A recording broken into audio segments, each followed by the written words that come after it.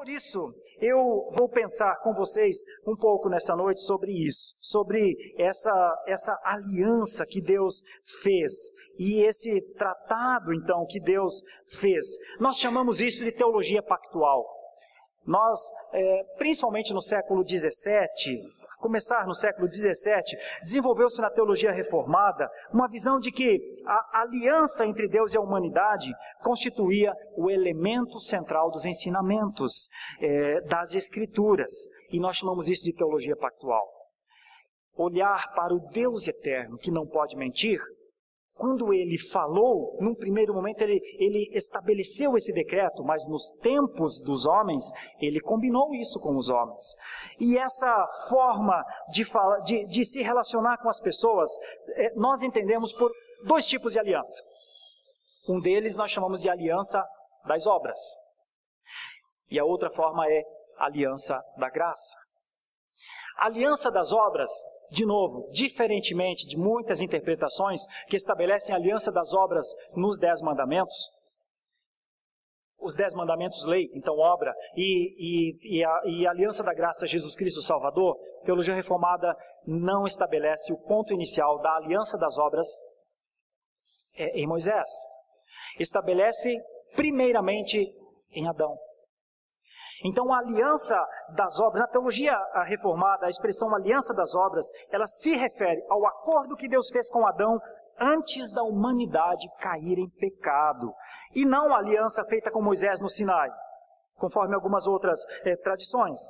Na aliança das obras feita com Adão, Deus prometeu algumas coisas a Adão. Por exemplo, abençoá-lo se ele obedecesse ao mandamento divino. Gênesis 1, 28 a 30 julgá-lo caso ele desobedecesse.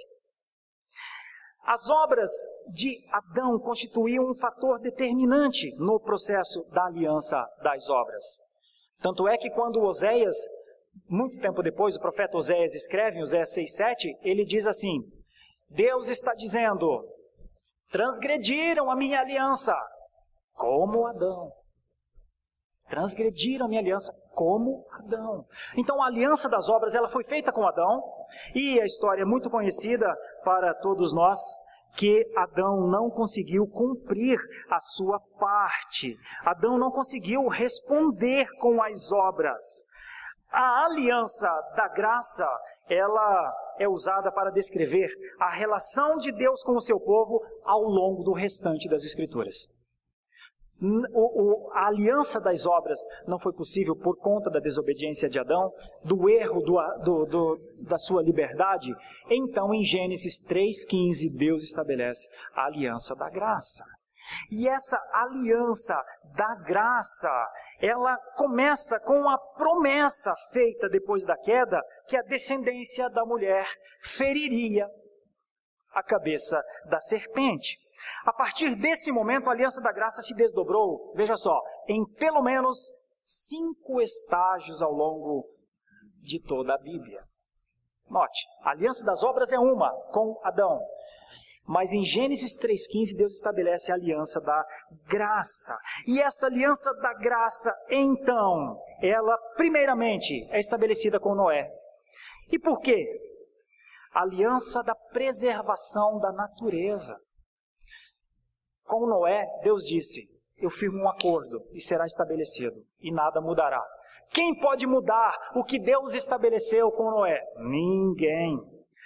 Logo depois dessa, de, de, dessa aliança com Noé, que era a estabilidade da ordem presente da natureza até o fim de todas as coisas, Deus reitera o acordo, a aliança com Abraão.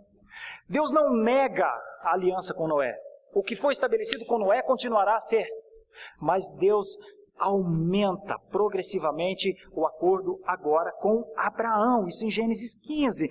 E deu início então a vários estágios de alianças feita, é, feitas com a nação de Israel, como povo escolhido de Deus. Por exemplo, Deus prometeu aos descendentes de Abraão que receberiam grandes bênçãos e seriam instrumentos maravilhosos na raça humana.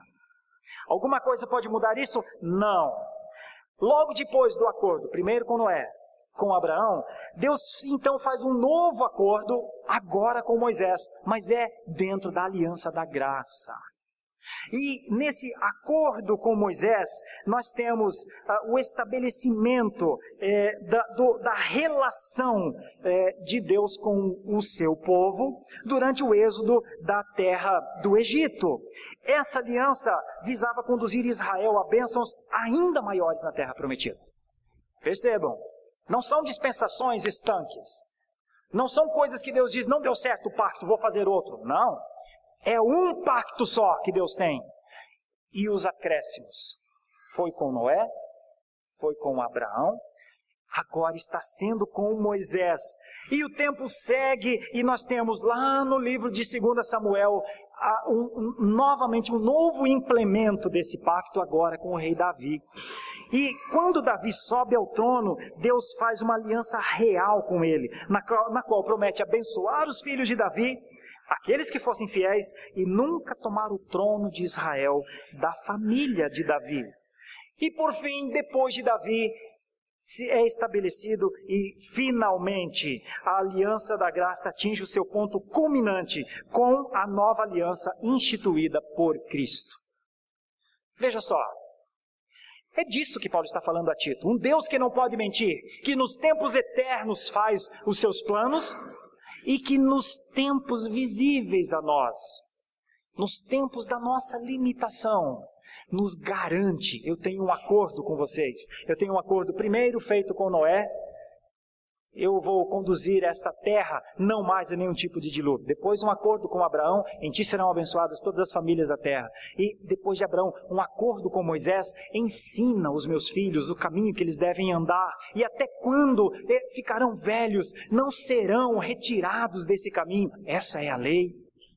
E depois vem o rei Davi, e Deus diz: Um homem segundo o meu coração, um homem que pode me representar por todos os lugares.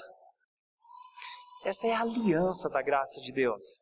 Mas em determinado momento, na chamada plenitude dos tempos, essa aliança é instituída em Cristo. Tinha sido prometida pelo profeta Jeremias, Lucas, Paulo, o autor aos Hebreus fala de Cristo como a nova aliança. A aliança na pessoa do Senhor Jesus Cristo. E essa aliança em Cristo se dá em três estágios. Ela se dá, primeiramente, na sua vinda, que aconteceu há dois mil anos.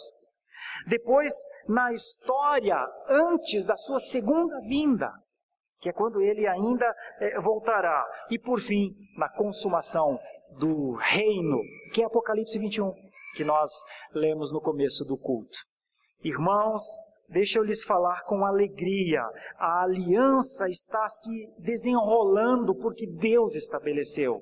E é por isso que eu lhe digo: a aliança é o elemento central da sua vida com o Senhor. A aliança que ele estabeleceu nos tempos eternos, no tempo compreensível, ele colocou as bases dessa aliança e na plenitude dos tempos, Cristo veio. No estágio quinto das alianças, e estabeleceu-se como aquele que cumpriria o que todos os outros prefiguravam. Todos os outros foram tipos, tipificações de um relacionamento de Deus com o homem. E esse relacionamento encontrou na pessoa de Jesus Cristo a sua plenitude. Por isso,